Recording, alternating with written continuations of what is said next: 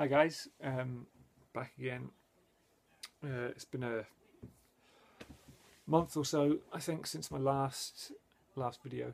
Um, so I've picked up a few things, um, and uh, this is this is them. Uh, it's a kind of a very mixed bag. Um, some old, some new, some mint, some pretty pretty worn out. But uh, anyway, uh, first thing I got was um, this. Now, actually, I have this already um, as part of a box set. Um, this is the Flaming Lips, um, Once Beyond Hopelessness, um, Christmas on Mars, uh, the soundtrack to the film of Christmas on Mars. But this one um, is the limited one that came with a DVD of the film and a bonus 7 inch, um, which the box set version didn't have. Uh, and I got this pretty cheap. Um, I discovered a seller in uh, in Holland, I think it is. Um, and I got this for about 12, maybe 15 pounds delivered. So you can't can't complain with that. Um, this was in a haul of uh, records I got. Um, first Black Sabbath album, which I've wanted for a, a long time. I think this is probably my favourite Black Sabbath album. Um, it's pretty worn, and somebody's obviously had their name written on the cover at some point. Um,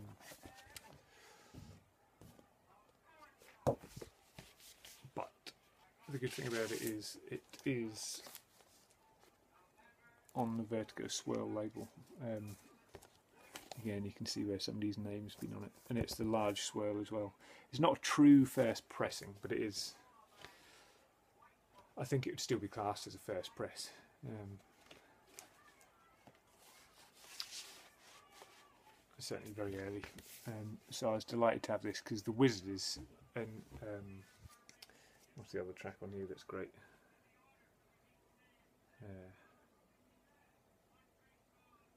oh, I can't remember now. Uh, but yeah, I was glad to have this because the Wizard is just uh, brilliant, and that cover cover's fantastic as well. Um,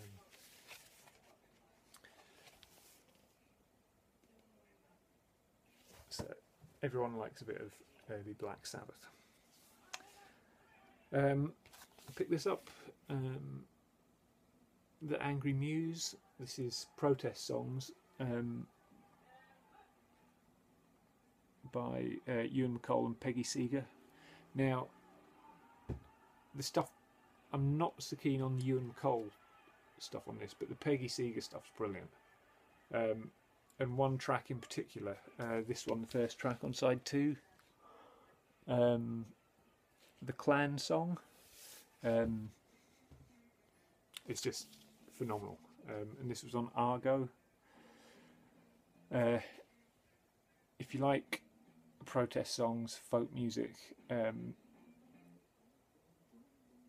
then I can highly recommend this. This is really good, um, and you can probably pick this up relatively cheaply as well. Um, this was in the same bundle of records that I bought that the Black Sabbath was in. Um, this is Emitt Rhodes, his uh, album on Probe. This is pretty good. Um, cool in the sleeve. I mean, uh, in a gatefold. Um, it wasn't quite as good as maybe reviews had led me to believe it was going to be, um, but still pretty solid.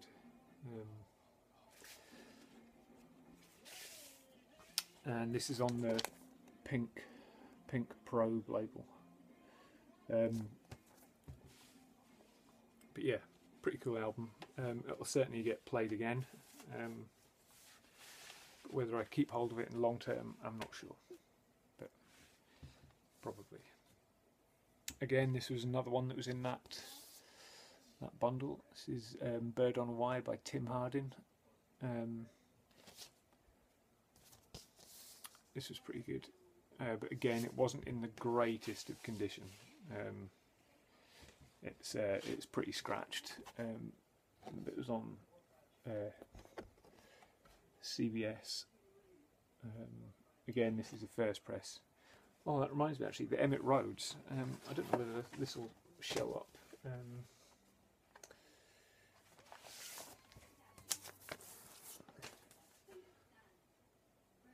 has got. I can get this to work. Uh, it's got some of the coolest engravings in a run out groove that I've ever seen. Um,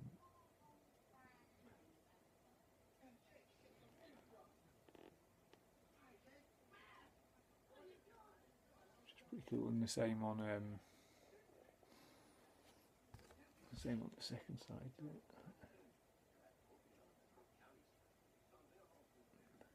Getting that to work very well.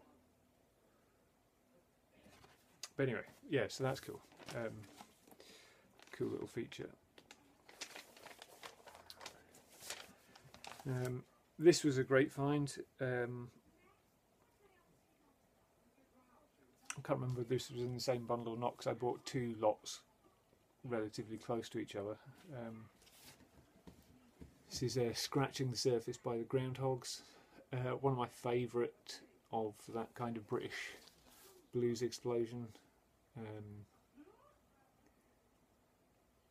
they did some cracking, cracking stuff. If you don't know the Groundhogs, um, they're well worth checking out.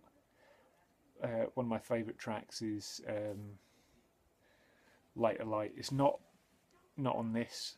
Um, it's on one of their other albums, but um, yeah, there's loads of their stuff on YouTube. Um, but yeah, this was really cool, in really good nick as well. Um, lovely, fully laminated sleeve, um, which always clean up really nicely. Um, the disc itself was absolutely filthy. Um, as you can see, if you have a look at the label there, you can see how badly damaged the label is, um, with kind of like some kind of mould, um, and the disc was filthy. Um, but I've cleaned it up, and it's uh, there's barely a mark on it, um, and it plays plays really really well now. Um, so I always say with records, you can clean off you can clean off dirt, but you can't clean off scratches. So just because something's dirty doesn't necessarily mean that it's not worth buying. I think a lot of people, had they seen this, would have probably run a mile from it. Um, but with a bit of effort, it's uh, it's turned up turned up to be pretty good. Um, these next two I found in um, the local Red Cross shop.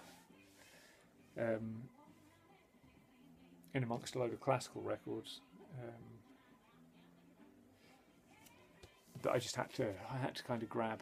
Um, I've got two by Chubby Checker. Um, this is I Miss You So. Um, original pressing on London. Um, a little bit of damage up on this corner here. Um, but again, you know, this is the kind of music that you just don't really find because most of them got played to death or got played on terrible, terrible record players um, and are knackered. Uh, but these are both really clean. Um, I think they're from the early 60s, 61. Where's this one? Uh, yeah, from 61. I think this one is 60 or 61. Um,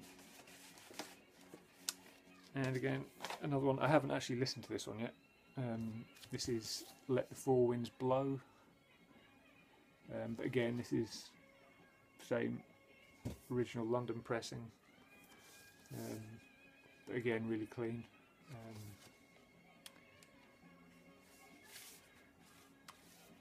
both monos, and again this is on lovely purple London label. Um, so they're cool, kind of interesting things. Not necessarily what I always kind of listen to, but I listened to. Uh, I think it was a Sunday night. I listened to one of those Fats Domino, and it just it just fitted perfectly. It wasn't it wasn't his. Uh, it wasn't necessarily what you think of when you think of Fats Domino. It was a bit more relaxed and just kind of good, good music, good music. Um, if anyone watched my last video, you'll remember I picked up that Aardvark album, which has got me on a bit of a Deram Nova thing. It's the only one I've got on Nova, um, or was, I should say, the only one I've got on Nova. Um, so I was looking through, and there's one that you can get really easily, but it doesn't. It isn't officially on the Deram Nova label, although it kind of is. Um, is this one? Now this is a classical um, piece um, called "Make Music for the to the Lord." Um, new masses and songs by Father Philip Gaisford um, and the choir of the Worth School and the Laurie Steel combo.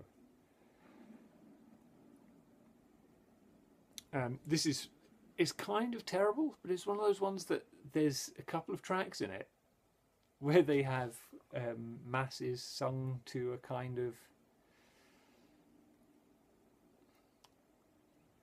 I don't know. It's hard to describe it. They kind of try and jazz them up a bit, um, which sounds horrendous, and it kind of is horrendous. But I think this would this is the kind of record that would almost be a sampler's dream, because some of the some of the samples and things that are in it. Um, but anyway, this is um, uh. This is the was it twenty three?